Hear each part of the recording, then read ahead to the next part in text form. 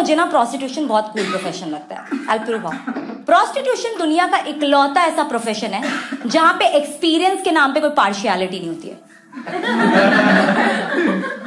उनको फ्रेशर्स चाहिए।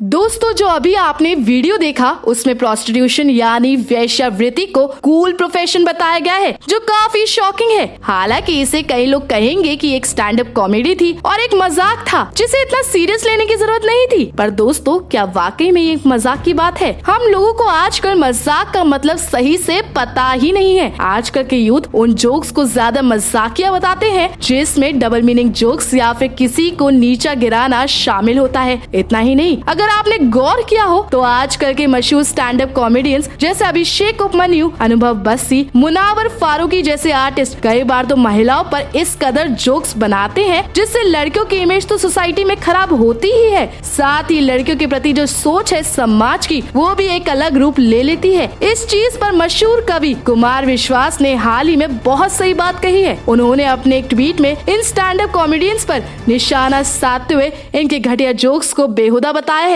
साथ ही संस्कारों से खिलवाड़ करने की बात करी है। दोस्तों, अक्सर ये देखा जाता है कि स्टैंड अप कॉमेडी करने वाले आर्टिस्ट कुछ इस टाइप का जोक क्रैक करने की कोशिश करते हैं, जो काफ़ी रिलेटेबल हो, जिससे लोग उनसे कनेक्ट कर सके। पर इस होड़ में वो ये भूल जाते हैं कि कब वो मज़ाक की हद को पार कर जाते हैं। मैंने अभी रिसेंटली एक स्टैंड अप कॉमेडी देखा था, जहाँ पर एक मशहूर कॉमेडियन लड़कियों का मज़ाक बनाते हैं और कहते हैं कि लड़कियों में बिल्कुल अकल नहीं होती है। इतना ही नहीं, कई बार तो यही स्टैंड अप कॉमेडियंस को ये तक पता नहीं होता कि वो कितना ज़्यादा बॉडी शेमिंग जोक्स क्रैक कर रहे होते हैं और उनके इस वीडियो का लोगों पर क्या असर हो रहा है। कई बार जब कॉमेडियंस मज़ाक में भी लड़कियों के लिए मोटी, काली या फिर बेवकूफ़ शब्द का प्रयोग बिना सोचे समझे इस्तेमाल कर देते हैं। वहाँ बैठी ऑडियंस तो ज़ोर ज़ोर से हंस रही होती है, पर जो घर पर बैठी जो लड़की होती है, जो उनका वीडियो देख रही होती है, जिसका वेट थोड़ा सा ज़्यादा होता है, वो अपने मोटे होने को मज़ाक की निगाहों से देखने लगती है और अपना सेल्फ कॉन्फिडेंस लूज कर देती है। अगर आपने पहले के कॉमेडियंस को देखा हो और उन्हें आपके कॉमेडियन से कंपेयर करें तो आपको समझ में आ जाएगा कि आज की कॉमेडी और पुराने समय की कॉमेडी में कितना ज़्यादा